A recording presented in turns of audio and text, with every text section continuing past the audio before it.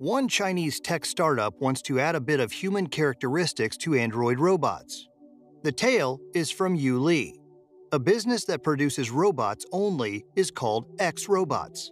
It seems as though science fiction is becoming reality, but understanding how these robots function and what they can do can help. But before we find that out, watch the entire video to see how we respond to questions. Then, click the bell icon and subscribe to our channel.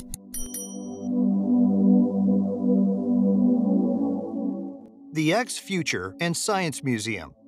A museum in China is producing lifelike robots with arteries in their legs and shivers on their skin, taking a leaf from science fiction. In order to make robots as adaptable and realistic as possible, innovative robotic technology is displayed at the X Future and Science Museum in the Chinese city of Dalian. The technicians at the museum can scan features and limbs to produce dynamic 3D robots, as per a tour of the planning and engineering facility presented by the Chinese government television channel CGTN. Jiang Lai Lai, a beautiful humanoid female robot with artificial intelligence, presented Creating the Future with Intelligence, a variety program devoted to exhibiting and explaining new innovative technologies in China alongside her human co host.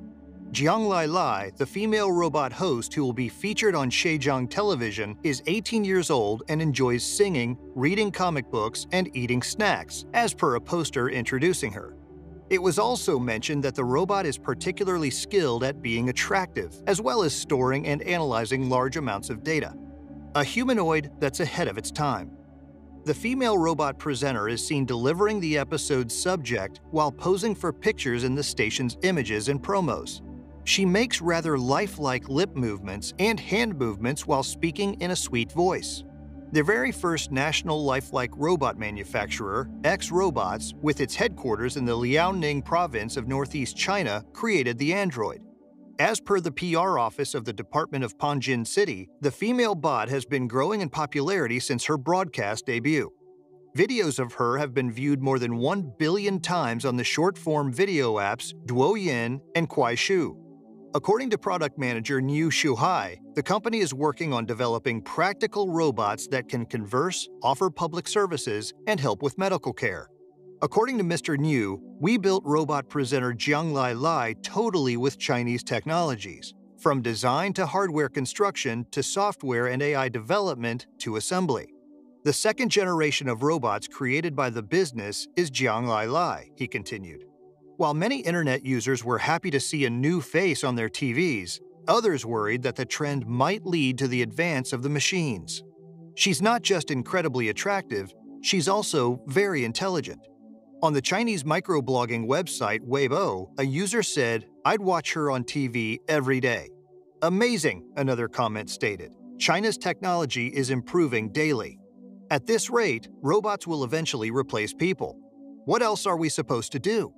One user inquired in worry. While acknowledging the concerns about a hypothetical robot insurrection, Mr. Niu argued that machines exist to assist people. He explained fear of the unknown is common. However, robots are ultimately created by human intelligence and are under the supervision of their human creators. He reassured them that the company's goal is to create useful tools that can support and aid those doing labor that is monotonous, risky, or repetitive, freeing them up to do more productive and important jobs. One thing is clear, however, with the creation of such robots, people and their occupations will not be fully replaced, according to Mr. Niu. We want to see improved human machine interaction. Robots are not the enemy, he continued. The engineering behind the machines. A reporter has her face features scanned in a video uploaded to YouTube so she can personalize a robot of her own. Then, various parts of her anatomy are 3D printed. In the video, she can be seen using a wearing glove to direct the motion of a robotic limb that was 3D printed. According to Yang Jiangguo, vice president of the museum, the skin is composed of medical grade bionic silicone, and the shivers on the skin, the arteries on the feet, and the hand lines, they're all quite realistic. The museum's robots are built with lines on their hands and fingers and shivers on their silicone skin. The robots of the exhibition have also left the grounds. One of the gallery's robots can be seen directing visitors to COVID 19 test locations in Dalian in a video that was posted to Facebook in November while sporting a face protection.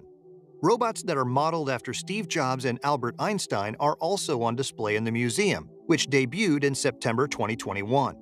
The two robots can be seen waving and wishing visitors a happy Chinese New Year in a promotional video for the exhibit that was uploaded in February. China has advanced the artificial intelligence sector in recent years, even producing incredibly popular and lifelike AI heroes to lead marketing campaigns.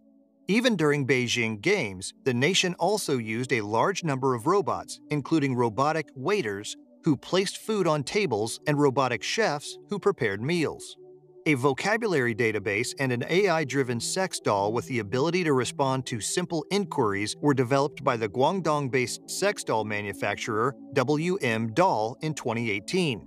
The same year, the Chinese media site Sixth Tone said that the Dalian-based company X-Doll, which makes sex dolls, was developing an intelligent sex doll that can do the dishes and strike up a conversation.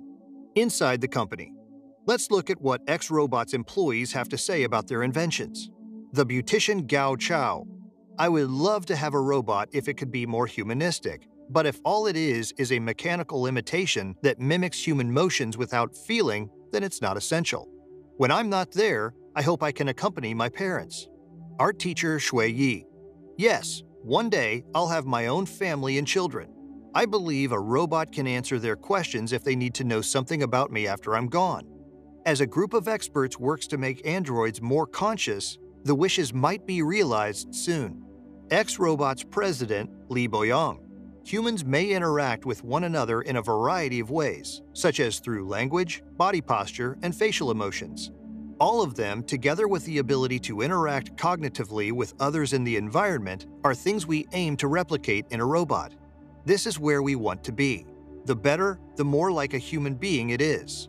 According to Li, a future of man-machine cooperation is unavoidable and the degree of a robot's integration into human civilization depends on how similar it would be to a human, and he is certain that there is a demand for such goods. ExRobot's president, Li Boyang, people in the area have frequently inquired about the possibility of customizing a relative or specific individual, either out of melancholy, such as not having the chance to visit someone, or because they really appreciate a particular image. The crew therefore makes every effort to make the robots look as lifelike as possible, but it raises challenges with privacy protection, ethics, and the security of individual biometric data. ExRobot's president, Li Boyang, it must first be approved if the robot poses as a relative. Such as the norms of humankind, there will be regulations governing robot development in the future that will limit the periods of robot programming. As long as we adhere to the guidelines for creating robots, everything will be great.